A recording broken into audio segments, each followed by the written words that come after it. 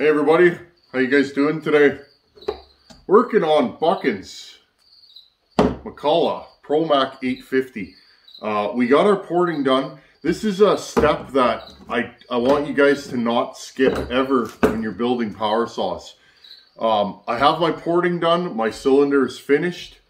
Um, for now, we are going to go a little bit farther on this saw. Maybe I'm going incrementally um, to make sure.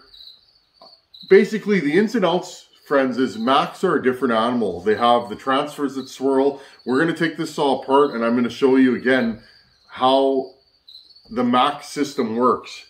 Um, I really want to get into these and show you guys what I'm doing. I have to take this cylinder off. I'm going to take it in the house and I'm going to scrub and wash the whole cylinder with soapy water uh, in the sink. Um, that's a very important step. You want to wash a ported cylinder or any cylinder. I do this with all cylinders I install. Um, you want to get any honing debris and, and dirt out of the cylinder. I want to put this thing together clean and shiny. Um, I'm going to show you guys my timing wheel setup again. Again, I just got to get the oil line out of the way. You guys ask about timing wheels and, and how to set them up. Okay, it's just a drill chuck. Most drill chucks are threaded where they go into the drill. That is just the shaft off of the drill chuck and I ground two flots on it for a 3 8 wrench, okay? So that's the deal there. We got to take the timing wheel off. We're going to break the cylinder down. I'm going to tell you guys what we ended up with and what I did to this saw because I want you guys I want you guys to understand what I'm going for here. Okay?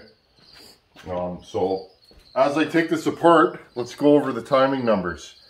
Uh, I've already checked the timing on this saw. Just got to grab a wrench here, friends. Okay, I'm to take my pointer off. I've already retimed this saw. Now, I did something completely different. I talked to a lot of you guys out there about porting Macs. There's a lot of guys that port Macs. And everybody seems to have their own little moves that they use. But what, what I'm getting with Macs, and not to say anybody's right or wrong, is there's so many different ways to port a Mac. So what I'm doing is I'm going through this information and going, okay, yeah, I understand. And what I'm trying to do, friends, is get timing numbers around porting Macs. Um, it's all about the timing. Because if you don't time the saw, and I've said this many times, and it's just my opinion, if you don't time your saws, okay, there's no way to recreate your work. Because especially on these old saws, Macs, when you time a Mac, they're all over the map. The squish is different. When you time a Mac, um, the timing numbers are all over the map, okay? And if you start, let's talk about this, friends. Let's talk about this. This saw has 30,000 squish out of the box. Pretty good for a Mac, okay? Uh, a lot of these, I've had a few buddies give me squish measurements. They're anywhere from 30,000 to 60,000. The more squish you have, right, and that's the measurement between the top of the piston and the squish band, which is that ring, and then you have your combustion chamber, that dictates how much compression you're going to have. If you have higher squish, typically you're going to have lower compression if you have lower compression, you don't want to raise your exhaust too high. You guys following me here? Now, if I didn't measure everything and I didn't get a timing wheel, I would have no way of knowing exactly what I'm starting with. Which means I could port this saw, I could port three of these in a row, and if they all have different timing numbers to start with, and they all have different squish, they're all gonna run different. Um, that's why it's so important to hook up a timing wheel. Yeah, it takes time, but the more you do it, the easier it gets. And then write it down in your porting book. Here's my porting book right here with my Wolf Creek pen. Okay. Again, friends, sorry, squish is 35,000. See right there, I misremembered the squish. It's important to write it down. Squish is 35 thousandths on this saw stock. The exhaust opened at 104 after top dead center. That's 152 duration. My transfers opened at 114. Stock, this saw has 10 degrees of blowdown. Um, the more blowdown you have, and I'm going to do a video, um, hold me to this friends, I'm going to do a video, bore and stroke, what it means, and I want to get into more detailed uh, ideas about two-stroke theory, okay? If you have short blowdown, think about it, friends. Your piston is moving down, okay? Your piston is moving down. When your piston is moving down, it is compressing the intake charge, right? The minute, the minute that piston clears the intake, it is compression, compressing the charge. The sooner the transfer's open, the less time the piston has to compress the bottom end. It only compresses the bottom end when the intake and the transfers are sealed. If you open the transfers too soon, you get less pressure and less fuel and air coming out. You also are giving the saw less time for the exhaust to come out, okay? Now these Macs, the exhaust pipe is about this short out of the box. This air comes out and it's hitting a wall, okay? If it hits a wall, it'll scavenge sooner, right? Well, think about it. You haven't gotten all your exhaust out of the combustion chamber and you're already opening your transfers. If your exhaust pressure exceeds, right, if your combustion chamber pressure exceeds your transfer pressure, which one's going to win? Your exhaust pressure is going to win. It's not going to allow the transfers to flow. With 10 degrees of blowdown, running this saw, I noted, uh, when you bury it in larger wood, it tends to go a little hot and a little lean. Um,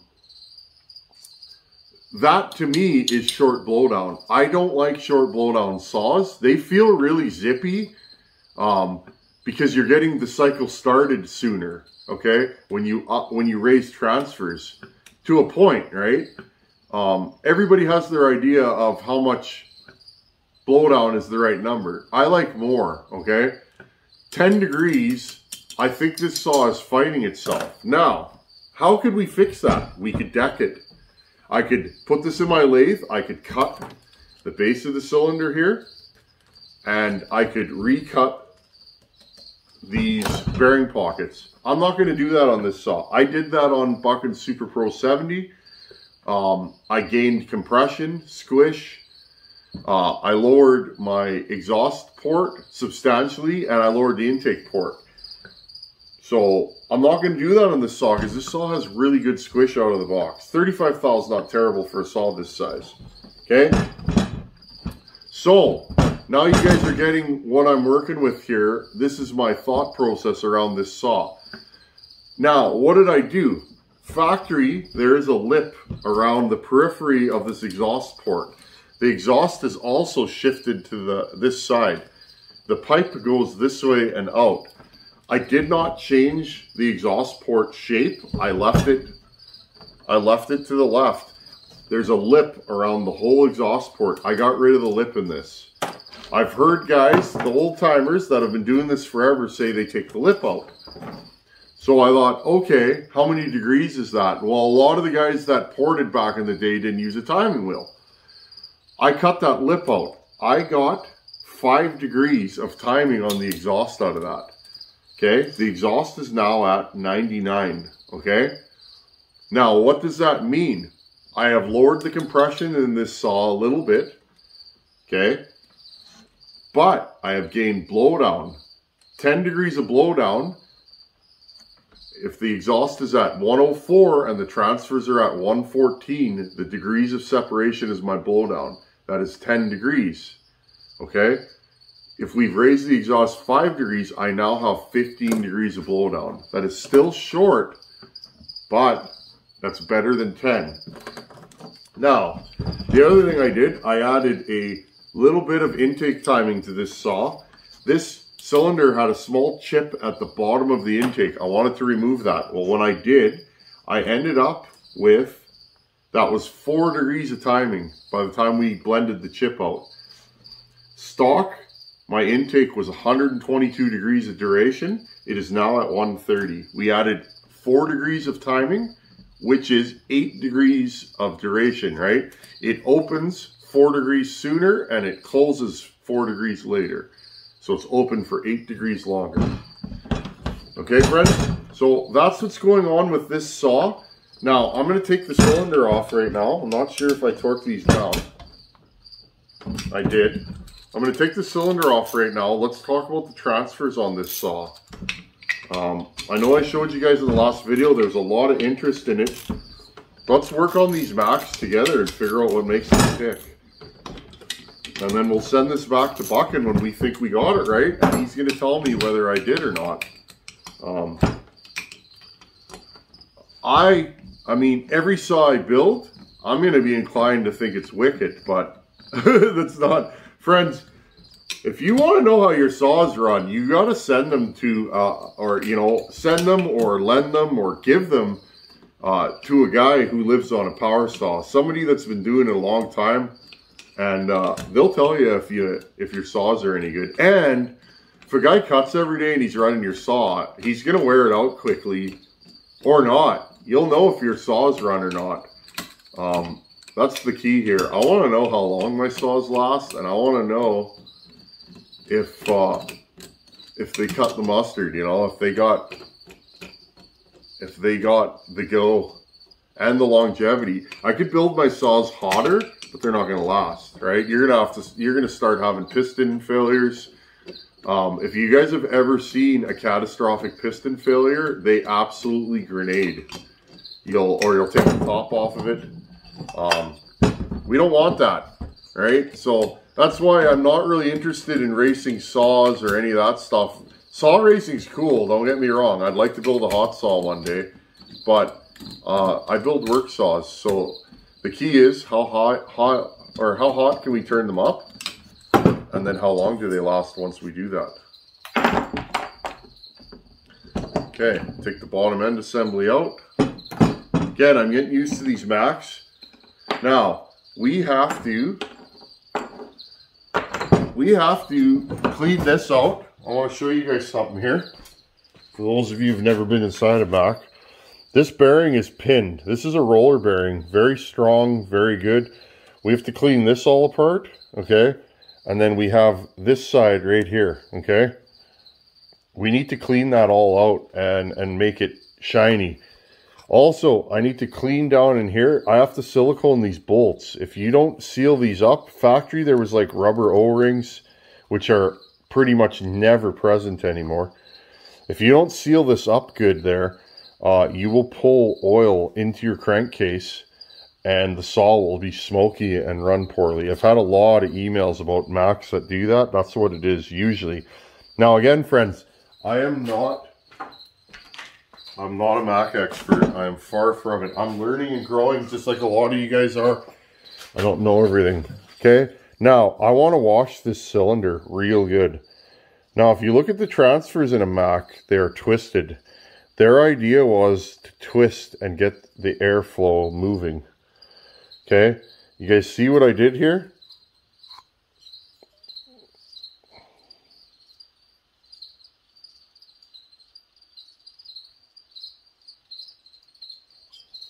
See that texturing in there? I'm going to leave that because I I have no problems with rough surfaces. Again, just my theory. Okay, now what I did, I am feeding these almost directly from the case with more bias to the primary transfer versus the secondary. In my opinion, you always want to feed the primary more than the secondary.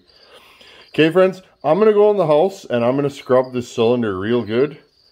Okay, I cleaned the carbon out of the combustion chamber.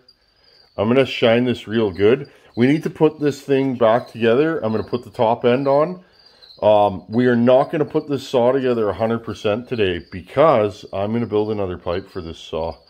Uh, we're going to do a pipe making video. Anyways, friends, I'm going to go in the house and spit shine this in my wife's sink. Now, one more thing, okay? Most important thing when you port, can you guys see my bevel? See how there's like a small lip here, okay? It is of the utmost importance when you port a cylinder, you run your fanger over there, okay? Your big, your big fanger like this. I don't know if you guys remember. Remember that sawzall injury? See that big lump? okay? You run your finger over there. You make sure that's like glass, and I mean shiny. I use 600 grit, and I put my finger in there, and I polish it, okay? You want all your surfaces polished Okay, same thing with the transfers. Otherwise, you will rub big marks in that piston right away. And the first time you run your saw, I just, you know what I do, friends? You guys email me a lot, and it's awesome. And I file this stuff. And if I get the same email again and again, a lot of you guys are porting and you're tearing up your pistons. You see the chamfer? Here, look. You see that line? You guys can see it. That line, that small little ledge there, is my chamfer. Okay, that eases the rings in and out of the pit, out of the um, exhaust port, and okay, it gives you something nice to smooth. Here's our intake. We didn't do much to it. We just she's a little roughed up and. Uh, a little rough around the edges, but she'll do. Okay. Now these Macs have really, really wide ports, exhaust or intake ports. Be aware of that. That changes flow and changes what you should do to it. In my opinion. Again, friends, I'm just learning these. I'm to get good at these Macs. Um, we're going slow on this. This is not my saw. This is Buck and Saw. And I I don't want to ruin a nice cylinder. And this is a nice cylinder. Okay, I'm to go wash this, friends. Now, I wish I could run this saw today, but like I said, we're to build another pipe. Uh, I like that pipe I built, but we can do better. That was, I haven't welded in years, friends, and I'm talking years. And uh, I used to work in a muffler shop. I did custom mufflers and pipes and stuff like that. I also welded when I uh, worked on Harleys. I used to build choppers.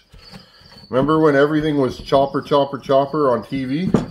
Well, I was right into that back then, uh, even before it was popular, and uh, that's what I did. So that pipe was to refresh welding for me. I've also never used that. I've also never used that uh, welder that I had. So really I want to glue this down good and, and get it prepped. Little discoloration in the case here. I'm not really concerned about that. Again, I don't want to start scrubbing with uh, any heavy abrasives on this. If you deck these and you don't get these, if I took a couple thousandths off this mating surface and I glued the whole assembly down, you know what happens? You put too much load on the bearings and it drags. Ask me how I know that. Again, friends, I am learning the Macs. You guys that have Macs, you like your Macs. And uh, uh, I like them too. Interesting, the, uh, I don't know if you guys can see this here. The oil pump on a Mac is pulsed through this hole. See, and it goes to the oil pump. Again, another thing that only Macs do. As far as I know, I've never been in another saw that's anything like a Mac. So they, they're a neat saw and the more I work on them, the more I want to work on them. Um, when I first got into that Super Pro 70, I was like, oh my, what is this? But no, this saw's fun. Um, we have some parts coming, finally. Uh, that Super, or Pro Mac 800 that Mr. Ben Shelton. Hey Ben, how's it going, buddy?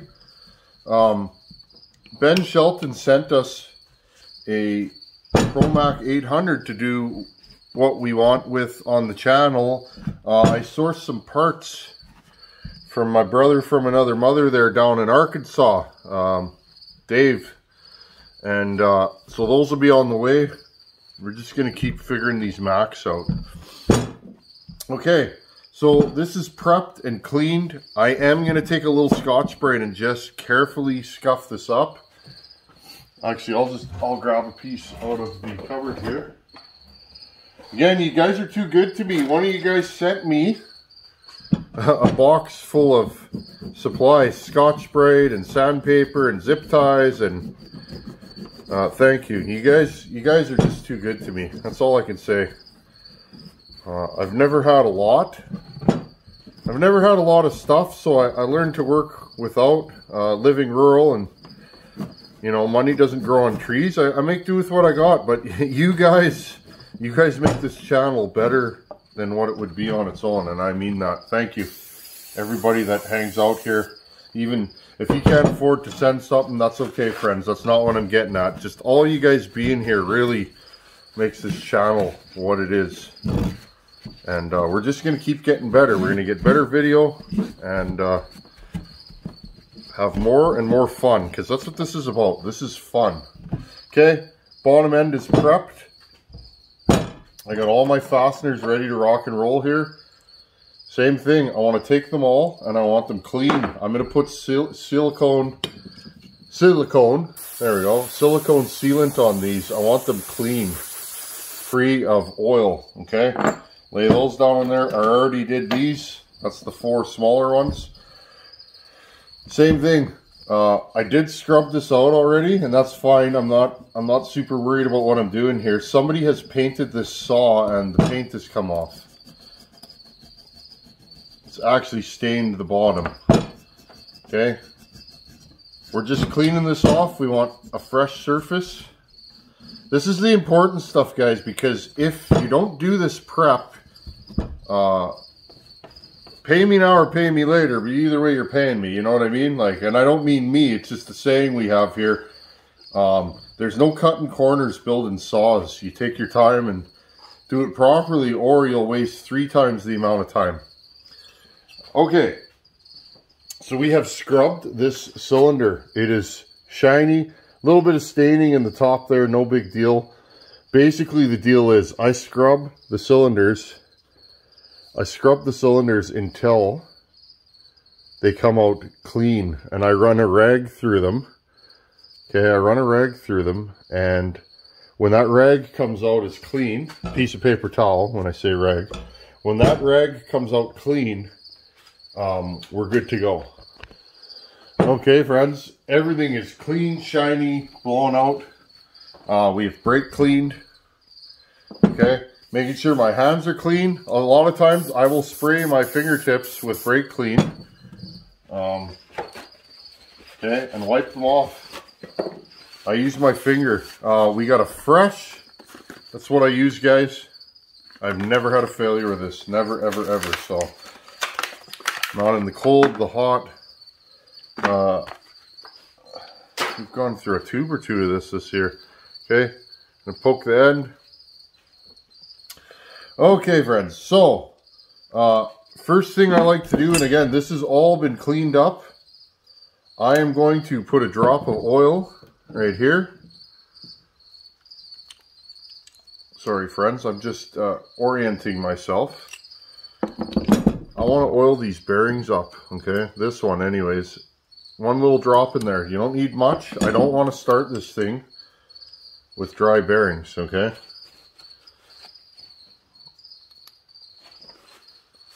Okay, just to wipe this down again. Okay, so we're to put this bottom end together, or this engine together.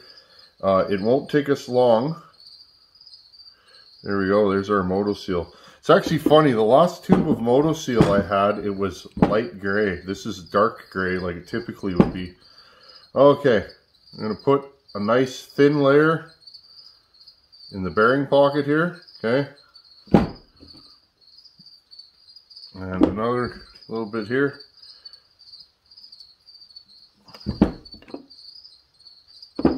key is to use enough to make a layer, but not so much that it's going to get everywhere. You, will learn that. It, it, it took me some time because saws are so small and there's so many nooks and crannies and it's the bottom ends are really tight. It took me a while to learn just the right amount. And uh, depending on what product you use, this stuff will spread out and make about a two thousandths uh, little barrier there again. So if your squish is 18 and you're going for 20, you'll end up with about 21 um, once you put this on there.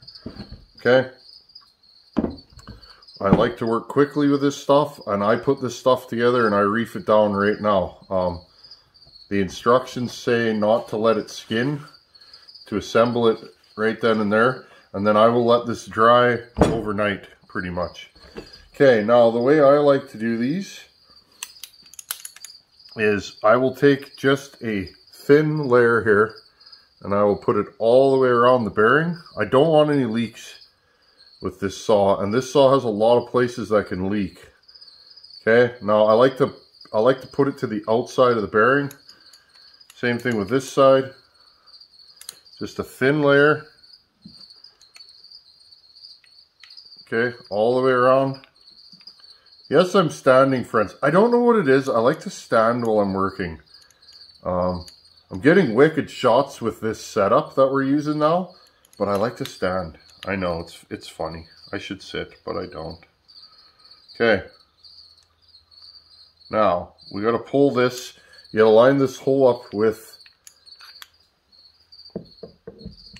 the little pin that's there, okay? Now, what I'm going to do is uh, turn the little collar. There we go, okay? Now that's in there. Now, take this, same thing. Skim coat all the way around, making sure to keep it out of the motor, preferably. Again, if you get a little bit inside the crankcase, it's fine, friends. It'll It'll usually still be there if you open the saw up again. If it does end up in the motor, 99% of the time it's not going to do anything. Think of the fines that these saws eat. Um, always think about the machine and the life it lives. Think of the sawdust that goes through a chainsaw in its life. I mean, we all worry about these things as builders because anything you can control as a builder, you want to control, right? because there's so many things that are out of your control. But I mean, realistically, friends, if you get a little in there, it's fine. Try not to, though. When I do anything in this world, building saws, I build a saw like somebody's going to take it apart and scrutinize my work. That's just how I am. So I like my work to be neat and tidy wherever possible. I'm going to put a little bit here. Okay. Now, what we want to do is get a little bit of oil on the cylinder. Okay. Little drop there, little drop there. I'm going to rub it in with my finger without getting any on the sealing flange. Okay. Just want enough oil that when we pull this saw over the first time, okay, we'll drop here on the rings, piston skirt, don't let it fall.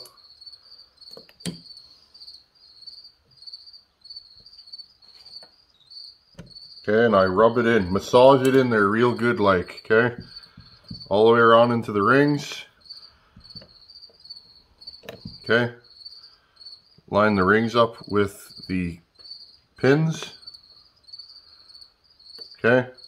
Again, now you just this saw's already been run. It's got lots of hours on it. It's old, but we want to make sure that when we put it back together that nothing ends up happening. Okay, now these are fairly simple. The rings will start on their own and then you just shunk, down it goes. Okay, now notice there is a little bit of clearance when you put these saws together. It actually rocks. That's normal you're going to cinch that down and take that right out. And that's why I was saying, if you deck one of these, make sure that you have all your bearing pocket measurements. Because if you go a couple thou too much off your flange, right, which is this part, you could overload the bearings and you could blow your saw up, you know, in 15 minutes of running or whatever, right? Um, in my opinion, I think it's really good. If you are going to deck one of these, Um, make sure make sure you have a way to keep your pockets where they should be because uh, overloading that bearing would be a massive failure. Massive. Okay. Need this one bolt out. I forgot. I have to goop up the flange here. These are, I find these can be a little messy to put together. This part of it anyways. I put a, a liberal dose of this underneath the bolt. It's no big deal if it gets in the, the oil tank because when you tighten these down, usually those rubber O-rings are gone. Okay. I don't care. Moto seal comes off and it guarantees that our saw won't have a leak or at least you try. Okay. I like to put a lot on here so just to make sure that nothing's going to leak. I hate air leaks with a passion. And if you do this stuff uh, carefully, you won't get any air leaks. Okay. That's why it's like so important. I have a set of moves I use when I build an engine, any engine, and I do not vary from them. They have to be clean. I have to be in the right frame of mind. I have to have enough time to do it. Means no rushing. And uh, that's just the deal with me. Okay there we go. You guys can see they're all sitting down inside there. Now we'll take this. Start torquing these down by hand in a cross pattern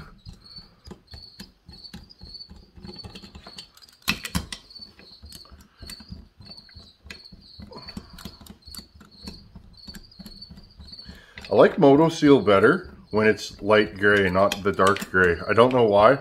That last tube I had, I never had any problems with it, but when I opened it up and the color of the product was different, I was like, I don't like this. It's funny how we get set in our ways. Uh, I noticed guys use, in the comments, use Dirko, 1194, and they, everybody says the same thing. This is what I use and it works. I say, yeah. whatever you use, if it works, why would you change? I wouldn't change either. I've been using Moto Seal since I've been doing saws. The reason why I use Moto Seal is I can buy it locally at good old Canadian Tire. And uh, so anytime I need it, and I do go through a decent amount of this stuff in this shop. I mean, this tube will last me for a while, but um, I can just go and get it.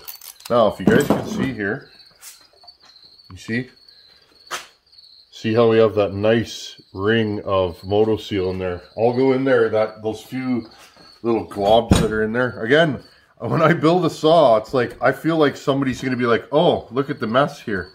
You got Moto Seal. That's just how I am. It's a fault. Um, it is. But it's just how I am. So bear with me here. I like everything to be clean. Okay, we'll tighten this down. These are going nowhere. Okay, wipe this down. There you go. Now, another thing I like to do, and again, because of just the way I am, I like to wipe all the excess Moto Seal off. Notice it's squirted out all the way around the periphery of the flange. Okay, look, you know you've done a good job when it's squirting out all the way around the bearing.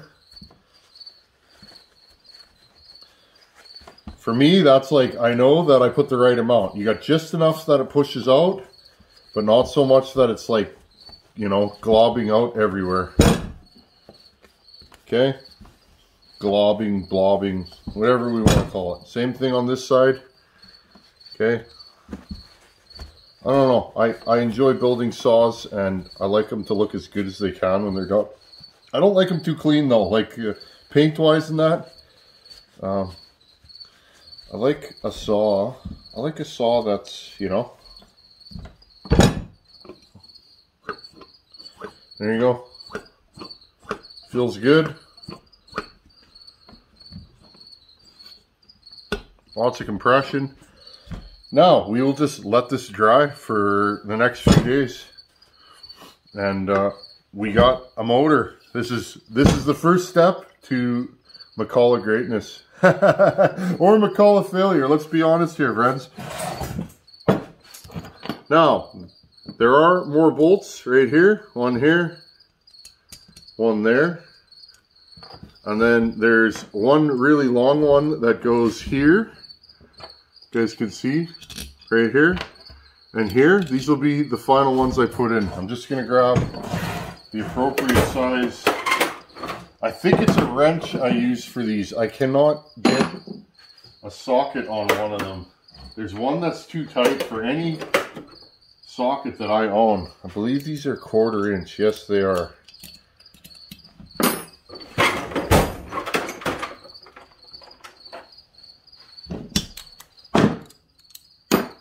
Oh, I'm excited.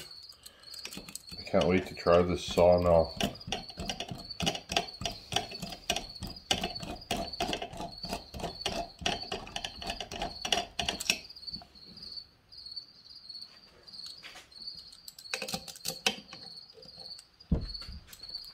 Helps if we grab the right size socket. Quarter inch, not 9 30 seconds. I grabbed the 9 30 seconds there.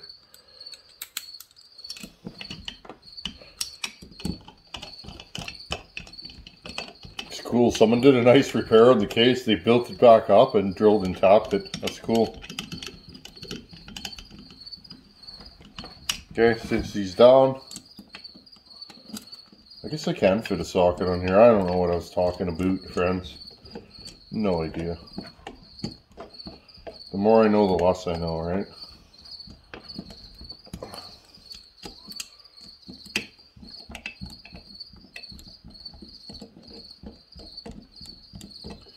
There we go. The collars take a little bit longer to put together, but they're worth it in my pattern. They're, they're a lot of fun and they are just a totally different saw. They get my brain going. They are harder to work on. They are harder to port. Those of you that build McCullochs know what I'm talking about. Okay. Beauty. Okay, friends. Well, there is a McCulloch engine assembly, nut and bolt, shot for shot. Um, that's the porting we did. 99 on the exhaust. We have 15 degrees of blowdown, and the intake opens at 131 right now. We're to try it like this. I have other little go fast moves that I'm to do to this thing as I go along. We're to build this in stages and see what happens. It might be good like this, and if it is, I'll send it to Buck. And if it's not, I'm to pick this saw apart because I do that with my work. Every saw I build, I'm already thinking of the next build and how I can make it better when I'm done. Listen to that, friends. These things change directions violently. Anyhow, friends, if you guys have any questions, please feel free to email me, tinmansaws at gmail.com. As always, thanks for watching. Take her easy. I'll see you guys in a couple days. Later.